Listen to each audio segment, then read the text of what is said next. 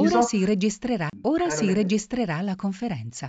Ecco, ho sentito una voce automatica, l'avrete sentita anche voi, da questo momento l'incontro è eh, registrato per cui eh, insomma, lo utilizzeremo, quello, quello che diremo, eh, per eh, condivisioni future in modo tale che chi non ha potuto partecipare oggi a questa conferenza lo potrà fare anche lo potrà fare in forma eh, differita in, eh, in futuro. Quindi appunto ribadisco l'invito a tutti quanti di eh, mettere su muto il, il, microfono e anche la, la videocamera in modo tale da lasciare l'audio il più pulito possibile per i nostri relatori. Eh, dicevo buonasera, benvenuti a tutti, io sono Davide Rossi e sono l'addetto comunicazione del servizio promozione del Monviso e a me è stato affidato il compito di introdurvi in questo primo eh, incontro di un ciclo di tre che abbiamo intitolato Intorno al Monviso, un ciclo di tre incontri che abbiamo voluto organizzare eh, per eh, celebrare, festeggiare anche noi la giornata europea dei parchi che si è tenuta eh, in effetti domenica 24 maggio in ricordo appunto dell'apertura dell del primo parco eh, in Europa avvenuta in Svezia nel 1909. Mm, da qualche anno quel giorno è un giorno in cui tutti i parchi d'Europa eh, si raccolgono idealmente per festeggiare e per eh, sensibilizzare sul discorso relativo alla natura, alla natura protetta, alla conservazione della biodiversità. Um, non potevamo ovviamente fare degli incontri fisici per le ovvie ragioni che tutti quanti voi conoscete e di cui oggi non parleremo per cercare di eh, pensare un pochettino ad altro e allora abbiamo organizzato un ciclo di tre webinar il primo è quello di, di oggi, di cui ancora non parlo, perché eh, invece per un saluto ufficiale chiederei l'intervento del presidente del Parco del Monviso, Gianfranco Marengo, che dovrebbe essere all'ascolto e al quale cedo la parola. Sì, grazie Davide, grazie a tutti, ma io non rubo davvero eh, molto tempo se non per i saluti, saluto i relatori, a Linda, sperando di rivederla in montagna e non soltanto sul, sul PC. Eh, anche noi sperimentiamo la prima volta questa modalità che potrà anche forse essere una risorsa per, per il futuro. Eh, il Monviso ehm, eh, è donna, è donna dal, dal 64 quando Francesco Barelli salì sul, eh, sul, sul, nostro, re, sul nostro re di pietra. Eh, lascio a Linda raccontarci questa, questa, questa avventura che iniziamo a, a, celebrare nel 2014, proprio nel ricordo di questa donna che per prima salì sulla vetta del nostro re di pietra, ma ascolteremo da Linda insomma i, i, tutti i dettagli, le curiosità e gli amici. Grazie a tutti, un saluto e ci risentiamo alla fine per le domande. Davide, prego. Grazie mille signor Presidente. Lei ha già introdotto naturalmente l'argomento e allora a questo punto eh, è doveroso presentare la, la, nostra relatrice principale, la nostra protagonista di questa sera, che è Linda Cottino, che è una giornalista, eh, una giornalista appassionata di montagna che è riuscita a fare eh, quello che tutti quanti noi sogniamo, cioè unire, eh, trasformare la propria passione nel, nel, proprio lavoro, in un certo senso, perlomeno unire la passione al, al lavoro. E di fatto eh, Linda è una giornalista specializzata nel, in montagna, diretto per eh, sette anni, se non eh, ricordo male, la rivista Alp, continua a collaborare con testate importanti nazionali e internazionali eh, nell'ambito della comunicazione giornalistica eh, declinata sulla montagna. Buonasera Linda. Buonasera Davide e buonasera a tutti. Naturalmente grazie mille per, per questo invito e grazie al Presidente e a tutti voi, davvero sono, sono molto felice, vista la mia frequentazione assidua del Monviso per vari anni, sia a bassa quota che in alta quota, insomma, diciamo a tutte le quote possibili. E quindi sì, molto, sono molto contenta di, di poterne parlare con voi, con il parco, che sicuramente il, è quasi è come se fosse il depositario, no? da un certo punto di vista, di, di, di saperi, di, di patrimoni, eh, di visioni, insomma, è molto bello, grazie. Grazie a te. Ecco allora che ho mh, condiviso una fotografia che prova proprio il fatto che tu sul Monviso eh, non, ti, non, ti, sei limitata a girarci intorno, ecco, per usare, per parafrasare il titolo della nostra eh, rassegna, ma ci sei proprio salita fino alla vetta, per cui chi meglio di te eh, potrà parlare di questo, di questo argomento. In, in, introduzione cito ancora appunto riallacciandomi un po' a quello che diceva anche il Presidente, l'argomento del 1864, ovvero della, eh, diciamo, eh, del nastro rosa, se mi passate, soprattutto tu Linda, questo, eh, diciamo, questa semplificazione eh, sul Monviso, ovvero quando salì per la prima volta sulla vetta del nostro re di pietra una donna, nella fattispecie Alessandra Boarelli. Eh, la citiamo mh, non soltanto per questioni eh, di, di, memorialistica alpinistica, ma anche perché eh, tu recentemente hai pubblicato per Fusto Editore di Saluzzo un libro che eh, racconta proprio la, eh, la storia di, di, Alessandra Borelli e la sua storia che si intreccia con le imprese alpinistiche di quel periodo e eh, con la sua effettiva conquista del Monviso. A te però chiederei di arrivarci per gradi a, questa, a questo racconto, facendo, come si suol dire solamente, il classico passo indietro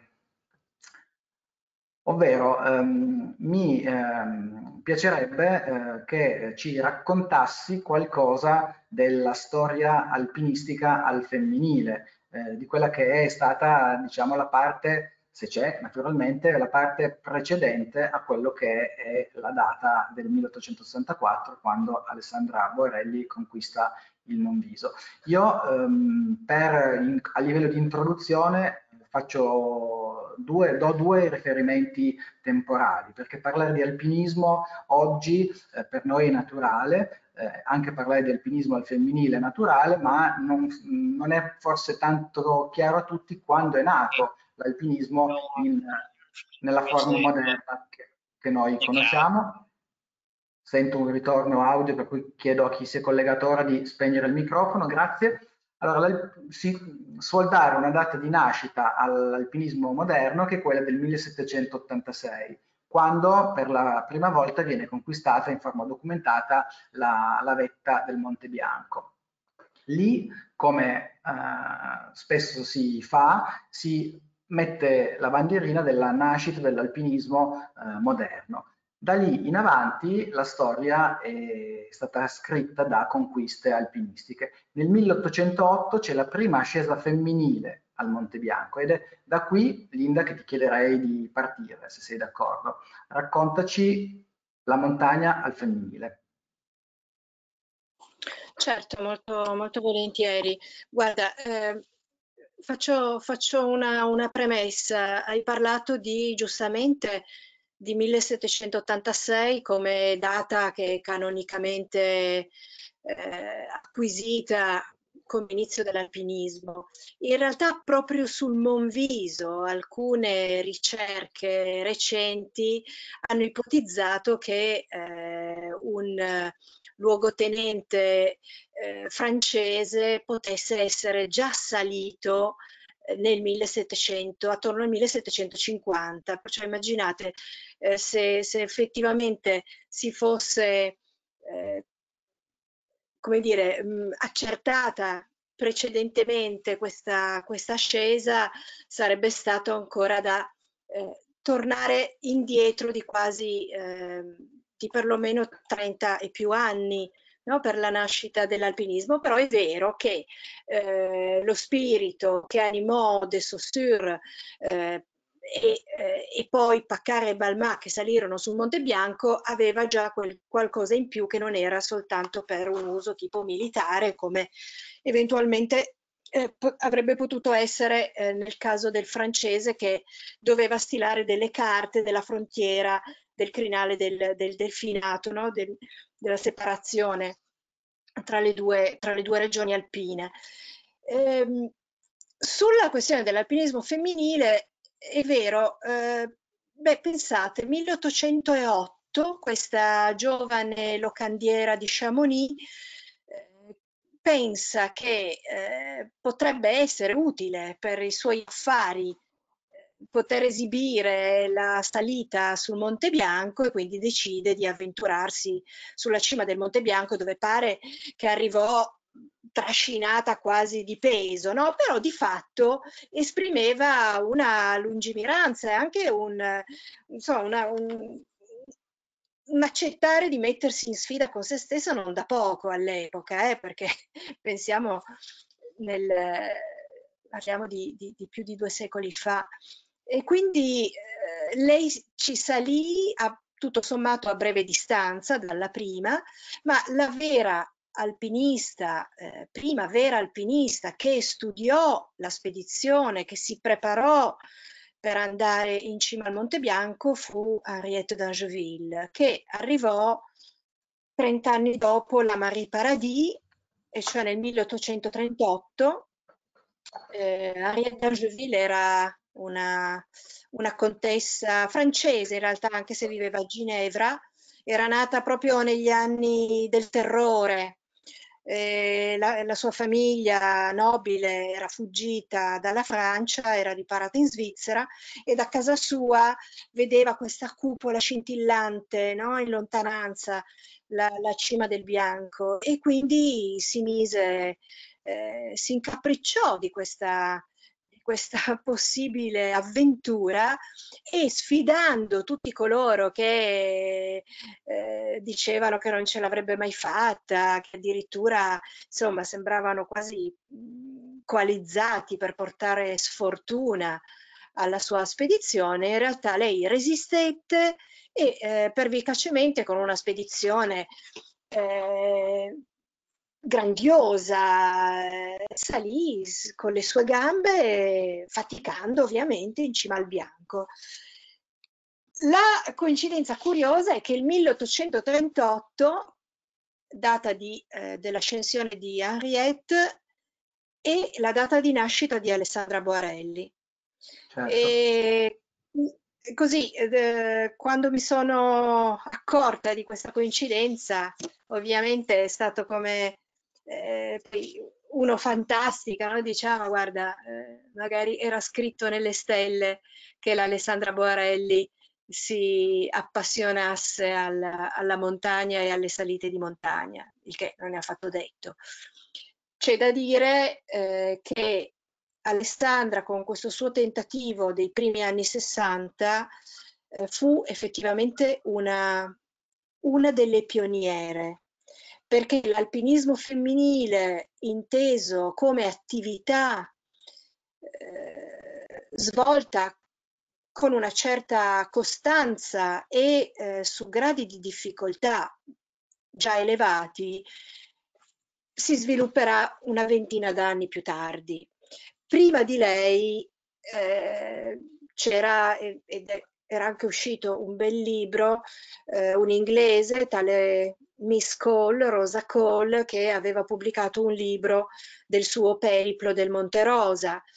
Però, ad esempio, il libro di eh, Gilbert e Churchill sulle Dolomiti, che vide la partecipazione anche delle mogli di Gilbert, di Gilbert e Churchill, nonostante questo no, no, non figuri, eh, e uscì nel 1864. Quindi, come potete vedere, eh, sono, sono, anni in cui l'alpinismo maschile è già eh, lanciato, è già quella, nella cosiddetta epoca d'oro, che sostanzialmente si chiuderà poi nel 1865 con la salita di, eh, di Wimper e Carrel su Cervino. Ma eh, quindi lei è perfettamente eh, in linea coi tempi e in quanto donna, eh, considerate tutte le limitazioni da cui il genere femminile era afflitto, sicuramente una grande un'anticipatrice, una grande visionaria, una pioniera a tutti gli effetti. Ecco, riguardo ad Henriette, se non sbaglio, l'immagine che, che, stiamo trasmettendo adesso, quella sulla sinistra, è proprio il suo ritratto eh, all'epoca della conquista del Monte Bianco, giusto? Giusto, e questa era proprio la, la tenuta con cui lei salì in cima. Nel libro fa una, un elenco di tutto quello, nel suo libro, nel suo diario di, di récit d'ascension a tutti gli effetti, fa un elenco di tutto quello che si portò e era, questo vestito se l'era fatto cucire apposta eh, per, per l'ascensione. Tra l'altro eh, notate che il, questo récit scritto da Henriette d'Angeville, che ovviamente mh, fu, eh, fu, preparato da lei all'indomani della, dell'ascensione, lei cercò di farlo pubblicare, era, aveva annotato tutto in una serie di quadernetti verdi e eh, nessuno, non trovò alcun editore disponibile. E finché andò sostanzialmente smarrito e eh, tornò eh, fuori nel 19, mh, negli anni 80 del Novecento, pensate. Quindi eh, sono, è passato un arco di tempo enorme prima che si sapesse di questa salita a tutti gli effetti storica.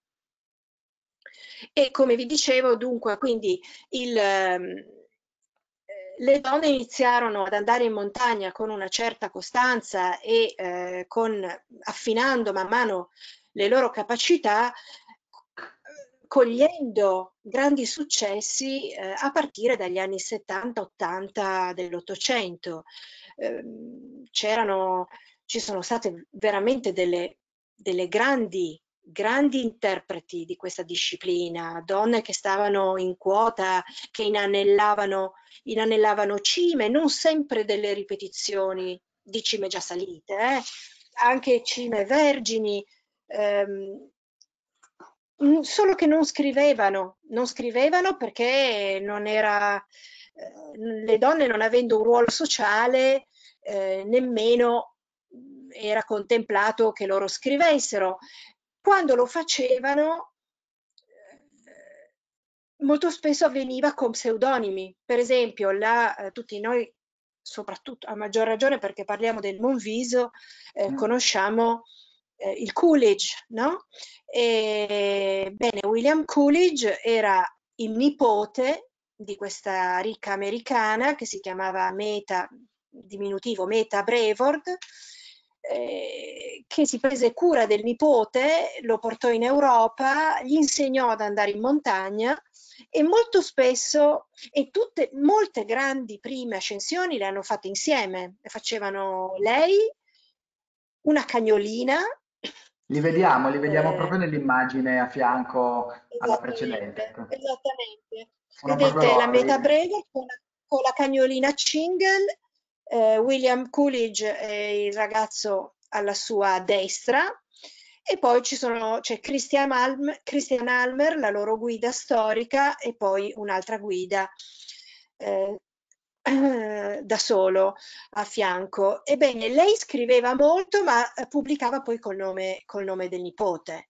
Quindi Henriette d'Angeville a suo modo è stata, è stata un'anticipatrice anche in questo perché decise di scrivere eh, lei, eh, mentre molte donne non scrissero o, oppure scrivevano dei diari intimi che non, non avrebbero mai immaginato di poter pubblicare. Faccio un esempio perché eh, questa è stata è stata una grande, una grande alpinista, eh, si chiamava Eleonore Hasenklever, era una tedesca, sposata con Noll, John Noll, e mh, mm, fece, fece un'attività alpinistica di primo ordine, soprattutto sulle Alpi svizzere, e morì, fu la prima donna alpinista a morire in montagna, morì sotto una slavina ed è sepolta nel cimitero di Zermatt. Ebbene, lei aveva preso delle note, aveva tenuto dei diari. Fu poi grazie al marito che questi diari furono pubblicati. Non esistono in italiano, perlomeno non ancora in italiano, però eh, fu lui che, che, li fece pubblicare, altrimenti non sapremo nulla, gran, poco neanche di lei.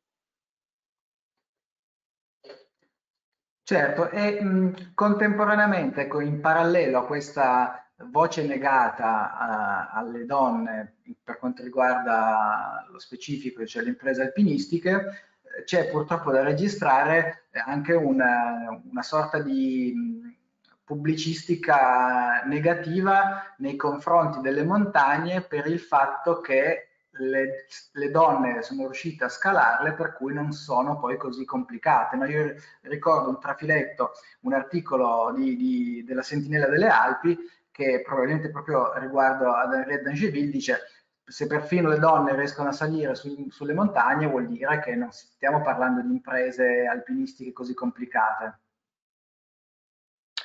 Eh, sì, certo, anche, anche Mameri disse che una cima prima è impossibile, poi è difficile, eh, e poi se finisce per essere una tranquilla escursione per signore, perde tutta la sua attrattiva. Mm, diciamo che, mm, visto che la storia è costellata da, questo, da questa strisciante o palese eh, così, mh, mm, misoginia, eh, mi sono, ho smesso di, di irritarmi o di dispiacermi troppo per questo e ho cercato anche nelle mie ricerche in, di fare il contrario, cioè di valorizzare quello che eh, invece è accaduto e, e, che non ha avuto, non ha avuto voce mh, mm, in un modo o nell'altro, è stato screditato. E, ehm, pensando che eh, se, se, fa parte dei tempi e che è, è, come un elastico, un po' si va avanti, un po' si torna indietro. Sulla, sulla stampa di oggi c'è un articolo di Elsa Fornero, ci può piacere o meno Elsa Fornero, ma eh, giustamente dice, dice, ma come mai nella, nella commissione messa in piedi eh, di economisti, eh, messa in piedi per eh, reggere il confronto con l'Europa in questo momento no, di trattativa su, su, sui quattrini eh, di cui l'Italia ha tanto bisogno e, e deve ottenere dice non c'è neanche una donna e siamo, e siamo nel 2020 quindi mh, purtroppo è una, una situazione così. Allora anche per me il eh, cercare di,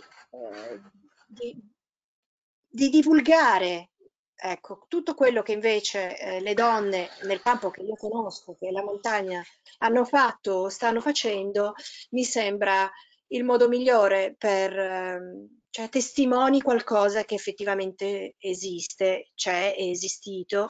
Nella fotografia precedente, nelle immagini precedenti avevamo visto eh, Lucy Walker, per esempio. Ecco, eh, questa questa immagine di gruppo eh, ritrae Lucy Walker eh, che fu la prima donna a salire sul, sul Cervino nel 1871. Beh, se pensate che il Cervino fu conquistato nel 65, eh, il 71 era, era, era, era il giorno dopo, ecco, diciamo, se in tempi, in tempi eh, alpinistici, soprattutto con i tempi di allora, che non sono eh, il, il, tempo accelerato nostro di oggi, no? in cui tutto è, è, dominato dalla fretta e dalla velocità. E Lucy Walker, è vero, era, era cresciuta in una famiglia eh, di alpinisti, pensate che da ragazzina andavano andavano, mettevano, eh, facevano base in un posto a, ai piedi delle montagne, scalavano con i genitori, tutta la famiglia, il fratello, tutto quel che c'era da scalare l'intorno, poi si spostavano da un'altra parte e passavano le loro vacanze così.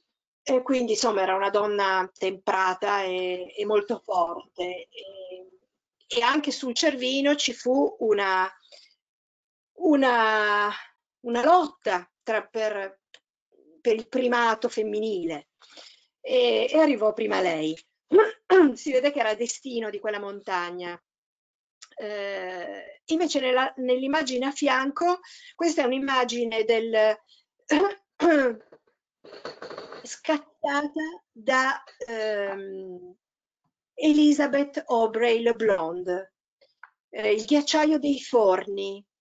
Eh, lei fu una, una, forte alpinista, sempre, mh, mm, eh, se non ricordo male, Elizabeth eh, Le Blonde era nata nel 1864, quindi quando proprio Alessandra andò sul Monviso, e eh, si era a un certo punto trasferita a vivere a, a St. Moritz in Engadina e lì eh, divenne talmente brava come alpinista che fu addirittura cooptata nella commissione che esaminava le guide alpine. Eh, no, per dare, per dare la, i certificati, gli attestati alle guide alpine dell'Engadina, eh, c'era una commissione di cui lei era stata chiamata a far parte. Se pensate che oggi. La eh, Anna Torretta, che eh, credo tutti noi conosciamo, no? l'unica guida alpina donna della Società delle Guide Alpine di Courmayeur, campionessa di arrampicata su ghiaccio, insomma, un atleta non, è, non riesce per eh, un boicottaggio subdolo a diventare istruttrice delle guide alpine, vi dà eh, l'idea di come, di come sia lunga la strada e forse, forse infinita, chissà mai. Eh, sì, proprio sul, so. versante, sul, versante, delle guide alpine registriamo un dato nazionale che è quello eh, di 16 guide alpine eh, donne su un totale di 1100 e più in tutta Italia. Per cui questo, questo, questo dato eh, fa una fotografia veramente drammatica di quella eh, irraggiungibile per il momento parità di genere, quindi forse è questo il dato che più preoccupante, che, che, fa più riflettere rispetto invece a un articolo di giornale di metà Ottocento in cui, ehm, passami il termine, ce lo possiamo aspettare no? che si scriva eh, delle donne in un certo modo, ma al giorno d'oggi forse la cosa dovrebbe essere molto diversa, come giustamente eh, citavi l'esempio in un altro contesto della, della Fornero. Certo, certo. E c'è da dire che il mestiere di guida alpina è un mestiere estremamente faticoso e logorante, no? Non possiamo nascondercelo perché uno inizia da giovane nel pieno delle proprie forze, del proprio vigore, eh, con una passione enorme e poi eh, almeno tutti, tutti, gli amici miei che fanno le guide alpine, a, parte che è un mestiere molto spesso costellato anche di infortuni, per cui eh, da un lato c'è una, una oggettiva, eh, una oggettiva eh, delle condizioni mh, di, di, di, fatica e di, e di, usura e di stress che eh, da un certo punto di vista è, è comprensibile che mh, schiere di donne non siano attratte no, sulla lunga, poi sulla lunga durata, no, sulla lunga prospettiva, però sicuramente è anche un problema culturale, cioè se, eh, se non c'è eh, un'educazione di un certo tipo, poche saranno quelle che decidono di eh, seguire la propria passione e, e, di buttarsi in questo mondo che è molto molto affascinante peraltro. Assolutamente, senti, sottolineerei la parola passione e eh, ti, ti, chiederei di avvicinarci un po' al racconto di, di Alessandra, no? perché nel tuo, nel tuo, bellissimo libro eh, ripercorre, riprende anche alcune lettere che lei scrisse, nelle quali lei addirittura parla di se stessa come di una persona con la vocazione d'alpinista. Per cui credo che nel, nel caso di Alessandra eh, la parola passione per la montagna sia eh, tutto fuorché eh, campata per aria. Per cui vorrei chiederti in questa mh, seconda parte del nostro incontro di eh, ripartire da, da, quella data citata dal Presidente prima, 1864, e eh, raccontare, raccontare Alessandra il Monviso e quello che succedeva diciamo, contemporaneamente a lei, no? su, quelle, su quelle balze rocciose in, quei, in quell'estate, in quegli anni, insomma. Eh, sì, eh, mi, sono, mi, sono, chiesta se Alessandra e eh, il marito Emilio Boarelli non, non, si fossero trasferiti da Torino a Verzuolo eh, proprio magari anche su, sulle insistenze di Alessandra, perché Alessandra crebbe, crebbe a Torino eh, e quindi il Monviso per tutti i torinesi è una, una presenza costante, è un'immagine, è un, come ha scritto Roberto Mantovani nel suo, nel suo libro dedicato proprio al Monviso, eh, gli inglesi lo, lo, definirebbero un landmark no, del paesaggio, è proprio caratteristico, caratterizzante. Quindi lei ha passato eh, l'infanzia e la prima giovinezza con questo, eh, con questo riferimento. E eh, quando poi si sposò con Emilio Bavarelli, che veniva da Verzuolo, eh, entrambi però abitavano a Torino. Eh, sfruttarono la coincidenza eh, del, della città divenuta capitale d'Italia e quindi del grande bisogno che all'epoca, che in quegli anni stringeva la capitale eh, riguardo agli alloggi, agli appartamenti, c'erano deputati, senatori che arrivavano da, da, tutta, da, da tutto lo stivale e quindi eh, in città non, c'era, non, c'erano, non c'erano case a sufficienza. Allora loro decisero di lasciare il proprio appartamento torinese e di trasferirsi nella casa storica della famiglia Borelli. Ecco, mi, mi, sono, mi, sono, immaginata che il, il, peso di Alessandra e il suo desiderio di andare proprio a, ai piedi, no? a vivere ai piedi di questo Monviso che per tutta la sua vita aveva ammirato di lontano, eh, abbia giocato un suo ruolo. E, mh, è vero, lei, lei parla, parla, della propria vocazione, parla del suo amore per la montagna e del suo amore per, per l'andare in montagna, che è qualcosa che eh, hai o non hai e che, ti, e che in fondo riconosci, riconosci subito, fin da quando sei piccolo, bambino, giovane, giovanissimo. E, ehm, e pensate che eh, il, eh, durante il viaggio di nozze eh, che lei ed Emilio fecero in una sorta di, di, di grand tour, no? perché eh, andarono in Toscana e si spinsero giù fino a, al Regno di Napoli, perché lei si sposò nel 1856 e quindi l'Italia non era ancora eh, un, unita. E il viaggio di nozze salì sul Vesuvio, e quindi vuol dire che insomma eh, se seguì, eh, se decise di seguire questo impulso per una gita sulla cima del Vesuvio, eh, doveva essere veramente un, una sua, un, impulso irresistibile, no? un, qualcosa che la portava ad andare in, sulla cima delle montagne eh, che è qualcosa insomma, che chi va in montagna ben, ben, conosce e riconosce, questo anelito ad andare sempre più in alto, arrivare fin su, fino sulla cima. E forse è proprio questo che l'ha spinta quando, eh, dopo un po' di anni che abitava a Verzuolo, eh, decise che in fondo perché no? Perché no? Lei, lei era una donna libera, era una donna libera interiormente, una donna colta, eh, una, una, giovane donna, eh, perché quando andò sul Monviso aveva 26 anni, eh, anche se eh, era mm, già madre di due, di due bambine.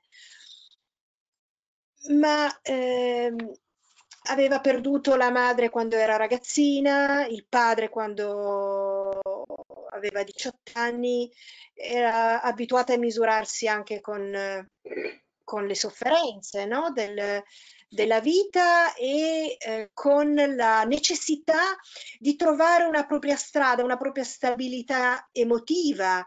Eh, si era fatto carico alla morte del padre, si era fatta carico degli affari di famiglia, no? istruita dallo zio che eh, temporaneamente ne fu il tutore, dallo zio paterno, però lei si fece carico di questi, di, dei beni di famiglia e, eh, se ne occupò, anche perché il fratello aveva qualche problema di stabilità psicologica, diciamo così, e, e quindi tutto gravava su, sulle sue spalle.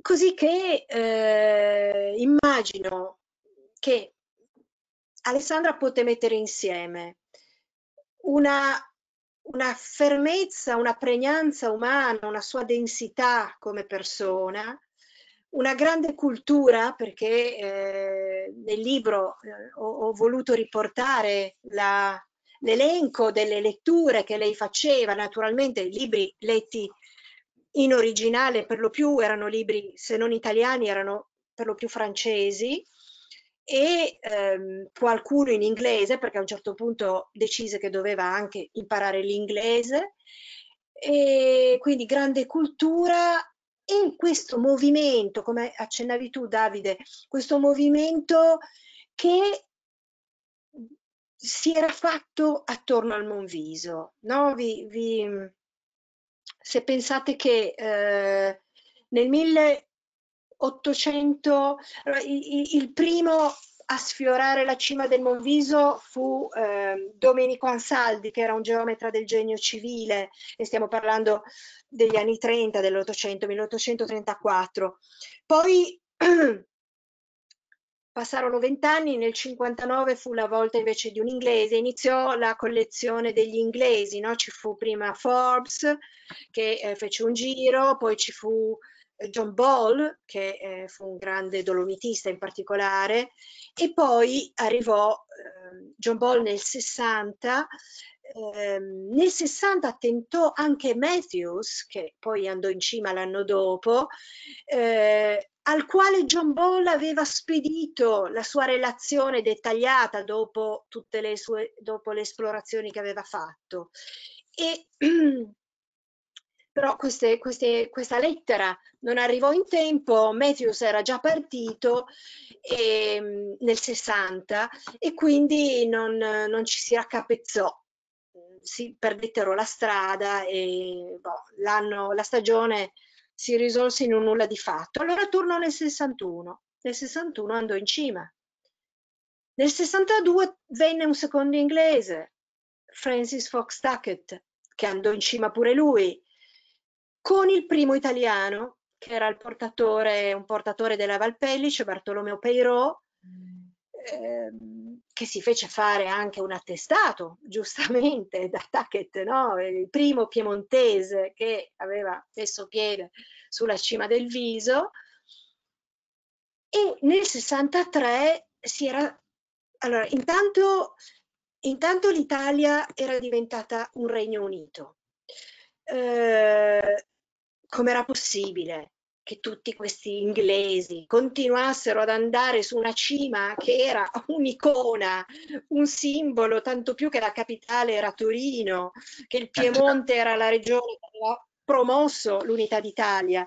Quindi il 63 fu eh, l'estate in cui si scatenarono tentativi di porta, mh, ci furono ci fu anche tutta un, una comitiva eh, con, eh, con, con, con Vialardi e, e Grimaldi che fecero il giro attorno, una parte di questa comitiva cercò di salire e ci provò anche Alessandra Borelli con uno dei fratelli di Saint-Robert, Giacinto di Saint-Robert. La guida che aveva soldato era proprio quel Bartolomeo Peiro perché insomma aveva tanto di certificazione, quindi eh, si faceva affidamento su, sulla sua esperienza. In realtà mh, mhmm, non si sa come sia andata la, la storia, se, se, lui si sia preso paura, se il tempo, come è normale che sia in, in agosto, eh, cambiando all'improvviso, abbia creato delle condizioni, poi abbia reso impraticabile la, la, la, la salita e fatto sta che dovettero ripiegare.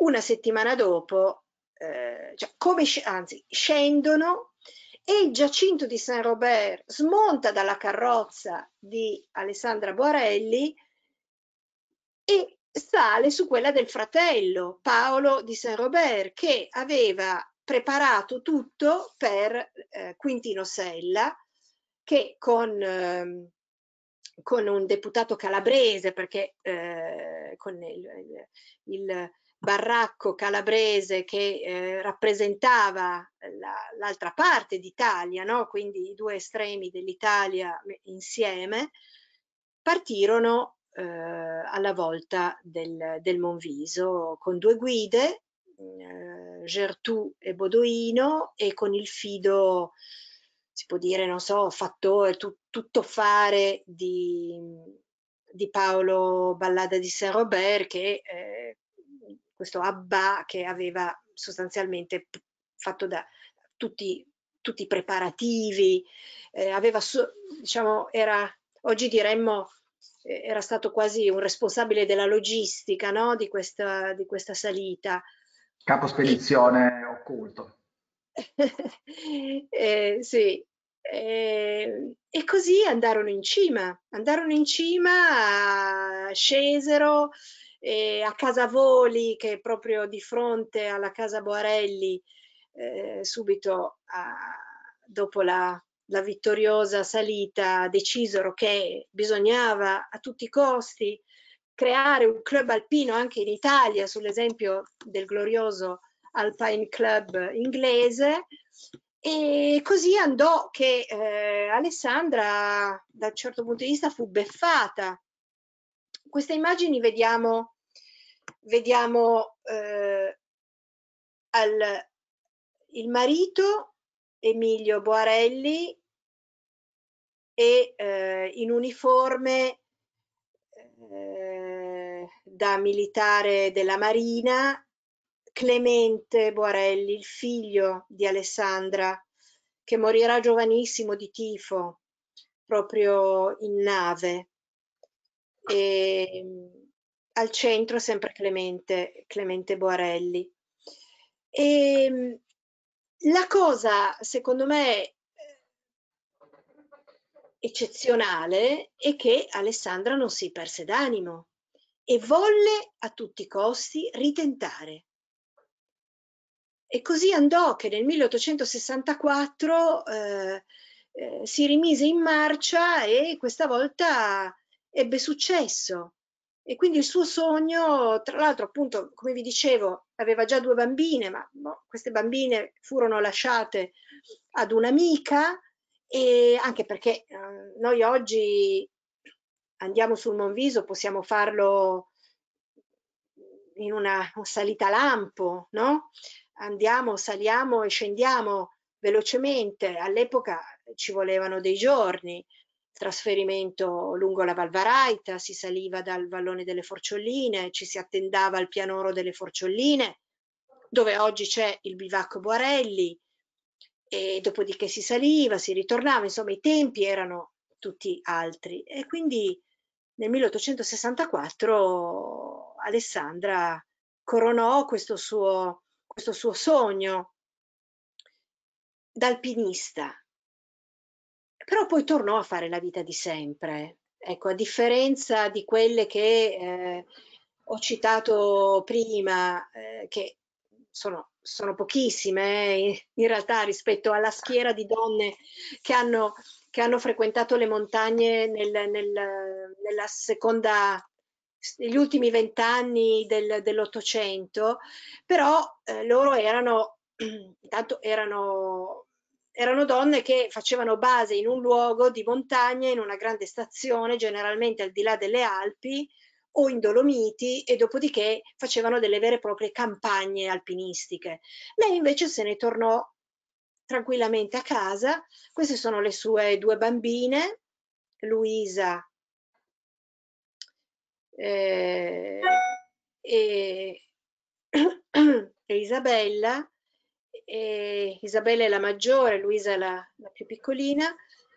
E, e, ricominciò a fare, a fare la, la, la, vita di sempre. Pare che fosse una donna attiva, fu una benefattrice, fu colei che si, eh, si adoperò per l'apertura del, dell'asilo a Verzuolo, e, però la montagna era il Monviso, come se eh, il Monviso racchiudesse eh, veramente un, eh, fosse la, me la, metafora di tutto. Eh, a lei è, bastato, è bastata quell'ascensione per eh, ripagarla degli sforzi fatti e per eh, farle sentire la libertà, la soddisfazione di aver, mm, di aver sì, proprio soddisfatto un'ambizione, no? Perché queste erano delle qualità di cui una donna quasi non doveva parlare all'epoca, no? L'ambizione era negata, la, la, la, la forza, la, pervicacia, la, fermezza, tu, tutte qualità che in una donna, anzi, quasi spaventavano.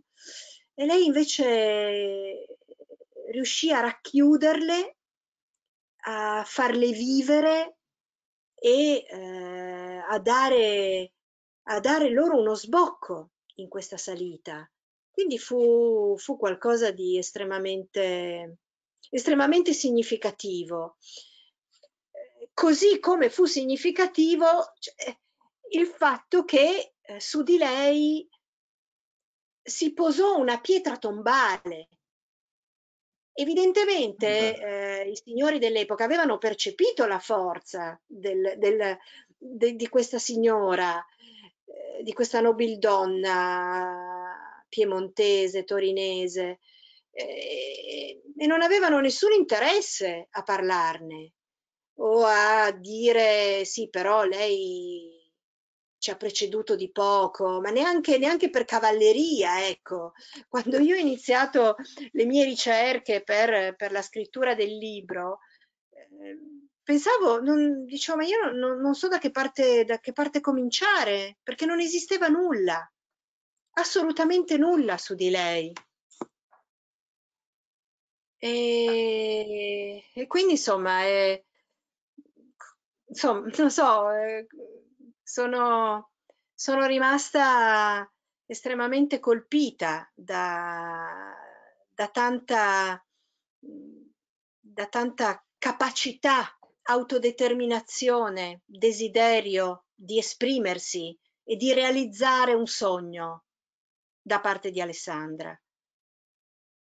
Ecco, tra l'altro nell'immagine che stiamo vedendo adesso c'è il, credo l'unico eh, articolo di giornale, per la verità poco più che un trafiletto, che nel 1864, questa è l'opinione del 25 agosto, diede conto di, quella, di quell'impresa compiuta da, da Alessandra, eh, che era accompagnata tra l'altro dalla sua damigella Cecilia, eh, che aveva poco più che 14 anni, se non, se non ricordo male, per cui diciamo che eh, diciamo, l'impresa al femminile in, quel, in, quella prima volta fu compiuta da, da entrambe. Hai citato Verzuolo, oh, scusami, sì. Di...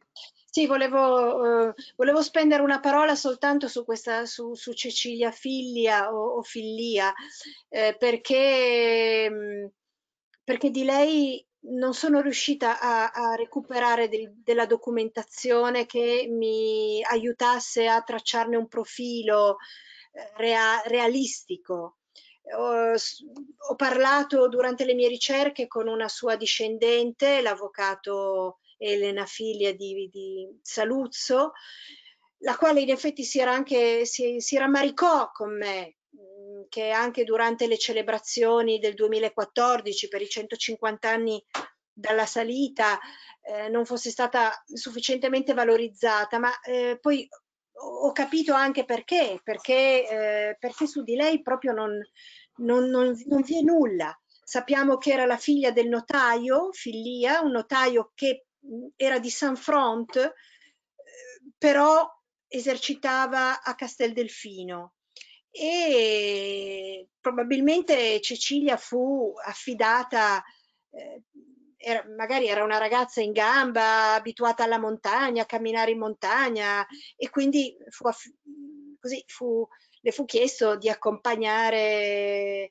la, la, la, Alessandra Boarelli e di unirsi alla spedizione anche per, per dare forse un aiuto ad Alessandra. Però, come vi dicevo, non, non, non è stato possibile sapere niente di più. Quindi quel, che io ho inserito nel libro di lei è frutto della mia fantasia e anche della volontà di rendere un, un omaggio, benché minimale, a, a, questa, a questa figura. Certo, certo. Ecco, um, molto velocemente perché il tempo corre e voglio ancora chiederti una cosa. Facciamo un omaggio anche a, a Verzuolo, no? Io l'ho definita una cittadina fatale, no? Per l'alpinismo italiano e la sua storia. Allora, hai raccontato benissimo la, il tornare di, di Alessandra alla, al, al, al, paese di origine del marito e um, allo stesso modo la prima cordata eh, italiana sul Monviso, quella di, di Quintino Sella per intenderci, eh, fece base a, a, Verzuolo, ma di più citavi proprio Abba eh, in precedenza, ecco, eh, credo che sia un, uno di quei casi del destino molto affascinanti, un suo discendente, Mario, è stato per tanti anni il capo sezione del, del soccorso alpino di Saluzzo che aveva e ha tuttora sede proprio in, in Verzuolo.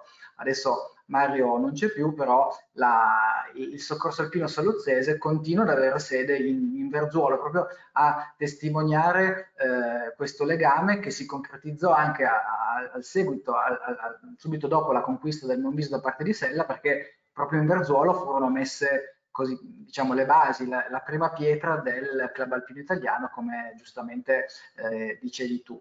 Vorrei ancora chiederti di fare un passo avanti nel tempo e di venire a parlare dell'alpinismo al femminile eh, se non proprio oggi, in questi, in questi ultimi anni, in questi ultimi decenni. Eh, so che c'è da eh, 50 anni ormai un'associazione di alpiniste donne di cui tu fai parte e che mi sembra un, uh, un, bel, un bel, club per portare avanti eh, questo, questo, sport eh, che è, abbiamo capito, tutt'altro che solo maschile, insomma, ed è giusto che, che venga che emerga anche questa parità di genere in montagna. Sì, senti, mi permetto, mi prendo un minuto di orologio solo per dire eh, che scorrono queste immagini di Verzuolo. Anche per me Verzuolo è stata una scoperta perché ormai siamo abituati con queste direttrici stradali che ci portano ad attraversare i luoghi senza avere neanche cognizione di, di dove siamo e, e, che, e che luoghi stiamo attraversando.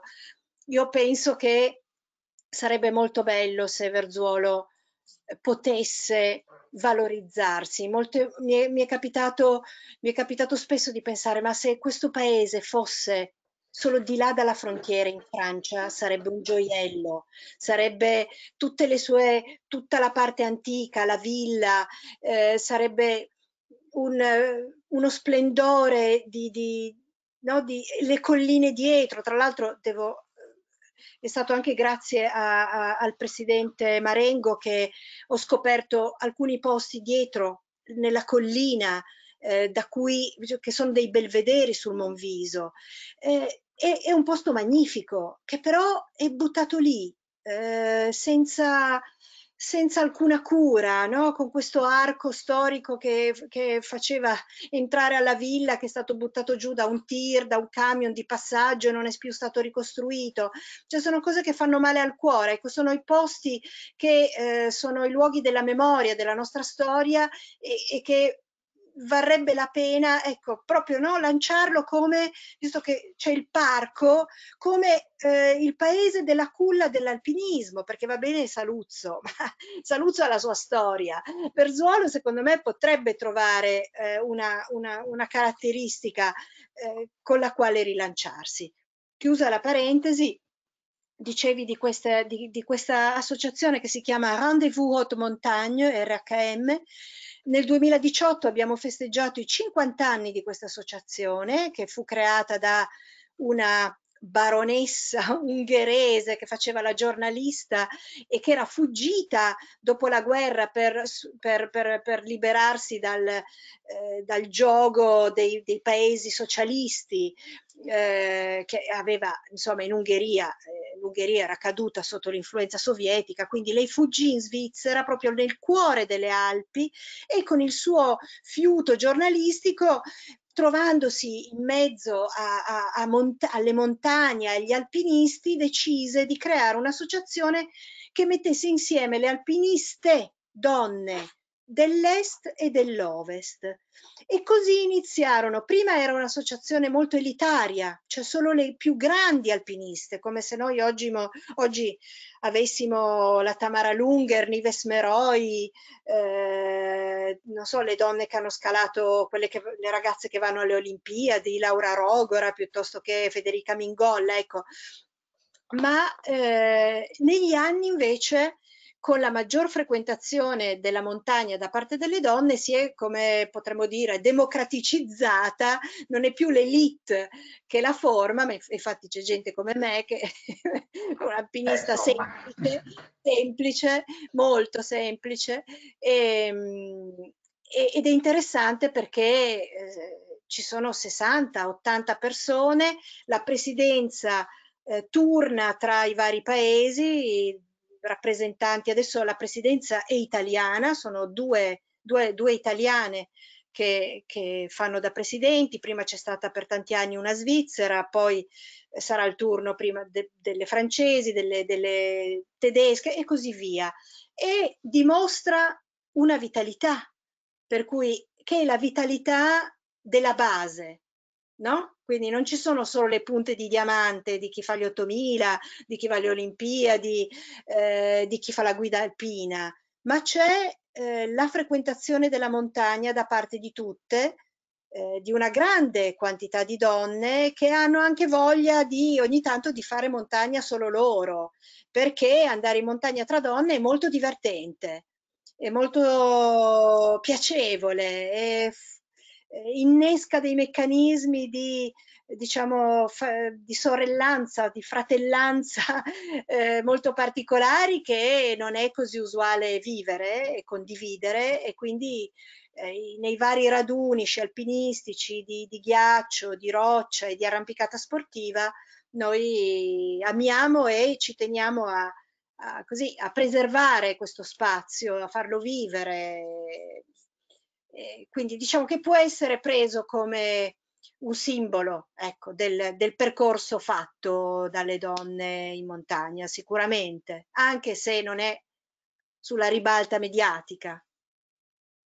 Certo, Bene, adesso il tempo a nostra disposizione sta inesorabilmente scadendo. Io invito chi volesse farlo a scrivere in chat una domanda o qualche curiosità eh, che passeremo poi a, a, Linda. Io ti faccio, Linda, una, una domanda per chiudere, diciamo, un po' questo, questo, discorso in attesa di eventuali altri stimoli prima dei, dei saluti finali che affideremo naturalmente al Presidente Marengo. Ecco, um, che differenza c'è a livello di motivazioni no? tra, chi, tra, tra, un uomo alpinista e una donna alpinista, se ce ne sono naturalmente. Cioè, riesci e noti qual, qualche differenza, c'è qualche differente approccio alla montagna oppure no? Ma secondo me io semplifico, ma direi di no, perché perché è il medesimo il desiderio di salire, di misurarsi con una natura così forte, di misurarsi con i propri limiti, eh, di misurare anche i propri punti di forza, di trovare un equilibrio fra corpo, no? tra fisico e, e tra psiche e, e fisico. E, e godere di queste esperienze così, così grandi può essere che ci sia forse un, una, da parte delle donne una minor competitività a tutti i costi, però metto un punto di domanda perché non ne sono così convinta. Quindi direi, direi di no, andiamo tutti in montagna allo stesso modo, con lo stesso piacere, per goderci questi, questi contesti così, così particolari, affascinanti e eh, magici, direi. Bene, vedo che in chat Claudio vuole dire qualcosa sul parco di Castelfino. Ehm, suppongo il parco dell'epoca di, di, Alessandra, ma da, da, quello che ha scritto non è chiaro, per cui a questo punto le inviterei ad attivare il microfono e a fare la, la sua domanda, eh, chiaramente appunto eh, pertinente al tema del, della serata. Grazie, sì grazie. Io sono legato a Casteldelfino e volevo così diciamo dare un contributo eh, che eh, la spedizione avvenne con Don Carlo Galliano che era certo. il parroco di Casteldelfino. Certo. Casteldelfino, ricordo a tutti la storia, sulla storia del Monviso, le prime ascensioni 61-63 sono partite dalla piazza di Casteldelfino, prima che poi la rotta eh, si rivolgesse alla Valle Po.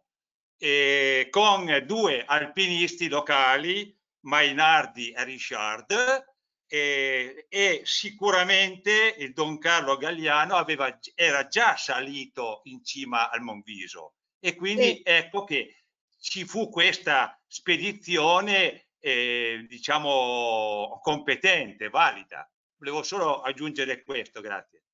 Ha fatto benissimo, ha fatto benissimo. Tra l'altro il medico Richard eh, credo che venisse da, eh, da Bellino, eh, da una delle frazioni di Bellino perché abbiamo trovato insomma delle tracce.